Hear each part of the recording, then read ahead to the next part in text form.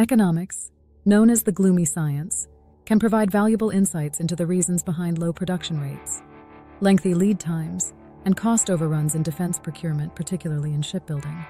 The second part of this article, refer to the link for Part 1, The Gloomy Science, will concentrate on the economic factors of production, including land, labor, capital, and entrepreneurship. Each section will address the bottlenecks in warship production and suggest remedies to address the low shipbuilding levels. As stated in the first part of the paper, the U.S. has 12,000 miles, 19,000 kilometers, of coastline, so the land factor of economic production does not play a significant role in the shipbuilding issue.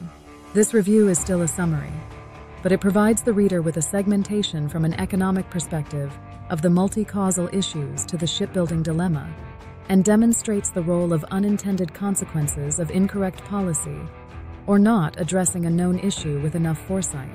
Capital. Shipbuilding is capital intensive. It requires specialized equipment across multiple locations, and that includes the infrastructure to support such large capital production facilities as electrical power, water, transportation networks, and machine shops. The current U.S. production capacity for naval ships stagnates or slows down due to the neglect of updating and maintaining the aging infrastructure. The end of the Cold War played a significant role in this situation. The U.S. Navy planned to field a 600 ship Navy during the 1980s, which peaked at 594 ships in the 1987 to 1988 timeframe. The year 1991 marked the official end of the Cold War, resulting in a reduction in the Navy's need for 600 ships. The U.S. decided to prolong the life of the existing Los Angeles-class submarine, leading to the cancellation of 26 of the 29 planned Seawolf-class boats. This greatly reduced the pipeline of submarine production. Additionally, the Navy didn't require an infrastructure to sustain a 600-ship fleet, meaning it didn't replace retired ships due to age or wear with new ones. The War on Terror also impacted defense budgets, being less focused on big-ticket items such as warships and more on maintaining troops in a war against insurgencies and non-peer adversaries. Given that most naval ships have a life expectancy of 25 to 50 years, the production infrastructure experienced significant excess capacity due to a lack of orders. As a result, many shipyards shuttered due to a lack of work, and those that stayed open suffered from a lack of infrastructure upgrades, allowing them to fall into various levels of disrepair. When new shipyards did emerge, they scaled down due to a lack of orders that could support the construction of larger facilities. Additionally, the absence of orders resulted in manufacturers lacking the funds to maintain their existing facilities, as defense budgets were declining, and there were few opportunities to incorporate the costs of infrastructure and facilities into a defense contract. The post-Cold War consolidation of the defense industry resulted in the elimination of redundant services, thereby enhancing the cost-effectiveness and efficiency of the new corporation, albeit at the cost of sustaining excess production capacity to meet future needs. The U.S. Navy and Congress are considering the need to increase ship construction infrastructure. These new facilities will be built by the government and maintained under a government program, eliminating the need for defense manufacturers to take out loans or issue debt to create new facilities, which they would simply pass on to the U.S. government in the procurement contract. The U.S. government would then lease these facilities to a private company for their use, similar to how the U.S. Army manages the production of traditional ammunition like bullets and artillery rounds. This would incur additional government expenses in the future, but it would also resolve the issue of private companies needing to maintain facilities when future demand is uncertain. Labor. The same issue that allowed the capital factor of production to degrade also allowed the labor factor of production to degrade as well. Shipbuilding requires the intensive use of specialized labor from many different disciplines, and specialized labor is labor that has relatively high monetary costs attached to it. These fields are difficult to teach and take years to master. As the demand for building naval ships and capital resources declined due to inactivity or neglect, so did the need for labor. The reduction in naval orders resulted in the layoff of these skilled workers. The total capacity of U.S. shipbuilding is less than 1% of all world-produced tonnage, which meant that these skilled workers had no viable civilian sector jobs to apply their skills. As a result, many U.S. specialized shipbuilders either transitioned to other sectors of the economy or eventually retired.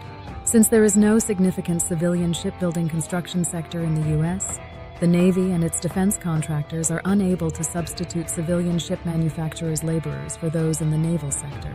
It also means their relative cost of labor is higher as there are fewer of them in labor specialty that is relatively costly. The Navy and Congress are attempting to address the issue by offering training and incentive programs to attract labor to move to shipbuilding. This includes attracting experienced workers from other shipbuilding industries or related industries where the labor is at least partially transferable. While this may not directly address the experience gap, it could potentially alleviate some labor issues.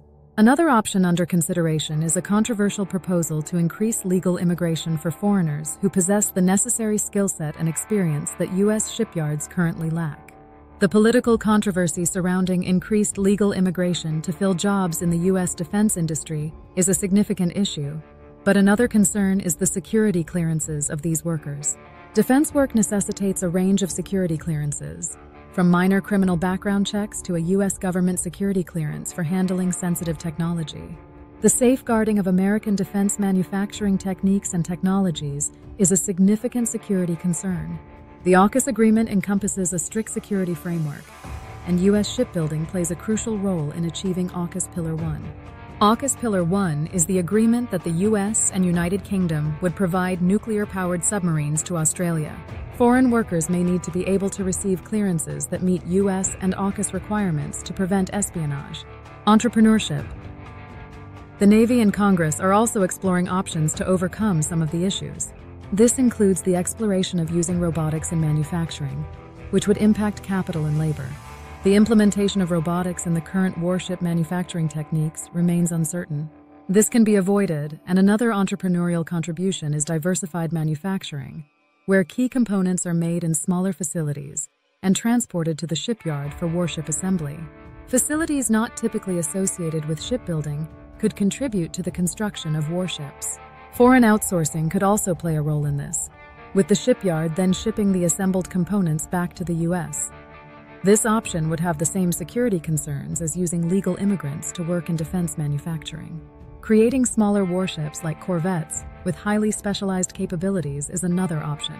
While these warships may be less capable than what the Navy currently deploys, they would provide an opportunity for smaller shipyards to enter the defense manufacturing industry.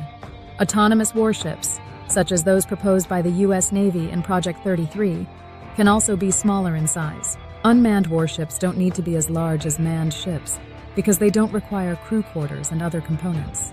A shrinking Navy and a shift in defense priorities away from confronting a peer or near peer adversary have severely limited the ship manufacturing industrial base's production capacity over decades. The available defense capacity has become more expensive than in the past due to an increase in labor rates and the maintenance costs of old infrastructure. This is due to neglect and not having a manufacturing base that demands the specialized skills that are required for shipbuilding. To address the capacity issue and rising costs, we need to invest in infrastructure for necessary maintenance and new facilities, as well as train a workforce to handle it. The other option is for the U.S. to purchase warships from foreign countries, a move that would be politically unpopular and potentially violate many U.S. laws regarding defense spending. The fact is, it will take time for the U.S. to significantly increase its production capacity, and it will lag behind China for the foreseeable future.